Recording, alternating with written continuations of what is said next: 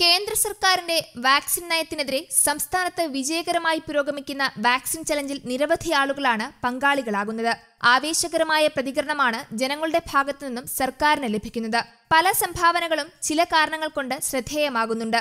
അതിലൊന്നാണ് justice V K മോഹനന്റേത്. തന്റെ കുടുംബത്തിലെ നാല് അംഗങ്ങൾക്കുള്ള വാക്സിൻ ഡോസിന്റെ തുകയോടൊപ്പം തന്നെ നൂറ് മലയാളികൾക്ക് കൂടി വാക്സിൻ എടുക്കാനുള്ള തുക മുഖ്യമന്ത്രിയുടെ ദുരിതാശ്വാസ നിധിയിലേക്ക് സംഭാവന ചെയ്തുകൊണ്ടാണ് അദ്ദേഹം വ്യത്യസ്തനാകുന്നത്. അതുപോലെ തന്നെ വാക്സിൻ ചലഞ്ചിന്റെ ഭാഗമായി ഒരു മാസത്തെ ശമ്പളം മുഖ്യമന്ത്രിയുടെ ദുരിതാശ്വാസ നിധിയിലേക്ക് നൽകി മന്ത്രി കടകംപള്ളി സുരേന്ദ്രനും വ്യത്യസ്തനാകുന്നുണ്ട്.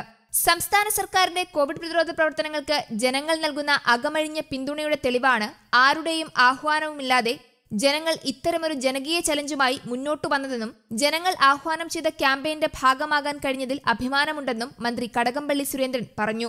അദ്ദേഹത്തിന്റെ ഓഫീസിലെ എല്ലാ ജീവനക്കാരും ശമ്പളത്തിന്റെ ഒരു വിഹിതം ദുരിതാശ്വാസ നിധിയിലേക്ക് നൽകുന്നുണ്ട്. സോഷ്യൽ മീഡിയയിൽ ആരംഭിച്ച ചലഞ്ച് പൊതുസമൂഹമാകെ ഏറ്റെടുക്കുകയായിരുന്നു.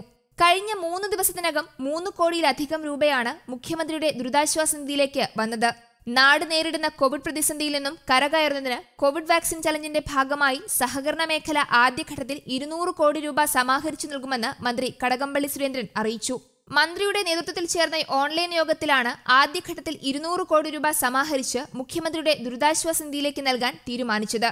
ചലഞ്ചിൽ പങ്കെടുത്തുകൊണ്ട് പ്രാഥമിക വായ്പാ സംഘങ്ങൾ ഗ്രേഡിംഗ് പ്രകാരം രണ്ട് ലക്ഷം മുതൽ പത്ത് ലക്ഷം രൂപ വരെ നൽകും. പ്രാഥമിക വായ്പേതര സംഘങ്ങൾ അൻപതിനായിരം മുതൽ ഒരു ലക്ഷം രൂപ വരെ നൽകും. കേരള ബാങ്ക് അഞ്ചു കോടി രൂപയും സംസ്ഥാന കാർഷിക ഗ്രാമ വികസന ബാങ്ക് രണ്ട് കോടി രൂപയും ലാഭത്തിൽ പ്രവർത്തിക്കുന്ന സഹകരണ സ്ഥാപനങ്ങൾ ഓരോ കോടി രൂപ വീതവും മറ്റുള്ള സ്ഥാപനങ്ങൾ അവയുടെ സാമ്പത്തിക സ്ഥിതിക്കനുസരിച്ചും സംഭാവന നൽകും. രണ്ടു ദിവസത്തെ ശമ്പളം സഹകരണ ജീവനക്കാർ സി എം ഡി ആർ എഫിലേക്ക് നൽകും. ഒരു ദിവസത്തെ ശമ്പളം ഏപ്രിൽ മാസത്തിലെ ശമ്പളത്തിൽ നിന്നും ഒരു ദിവസത്തെ ശമ്പളം മെയ് മാസത്തെ ശമ്പളത്തിൽ നിന്നുമാണ് നൽകുക.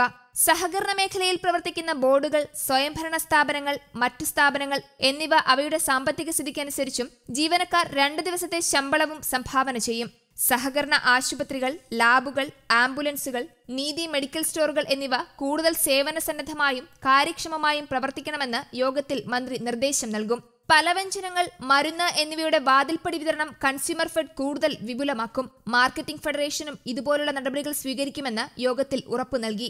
സംഘം ഭരണസമിതിയുടെയോ പൊതുയോഗ തീരുമാനപ്രകാരമോ ഈ നിധിയിലേക്ക് സംഭാവന നൽകാവുന്നതാണ്. പ്രതിസന്ധി ഘട്ടങ്ങളിലെല്ലാം കഴിഞ്ഞ കാലങ്ങളിൽ സഹകരണ പ്രസ്ഥാനം കേരളത്തോടൊപ്പം ഉണ്ടായിരുന്നുവെന്നും പ്രതിസന്ധി ഘട്ടത്തിലെ സഹായി എന്ന മുഖ്യമന്ത്രിയുടെ വിശേഷണം അരക്കിട്ടുറപ്പിക്കുന്നതാണ് സഹകരണ മേഖലയുടെ ഈ നടപടിയെന്നും മന്ത്രി കടകംപള്ളി സുരേന്ദ്രൻ പറഞ്ഞു.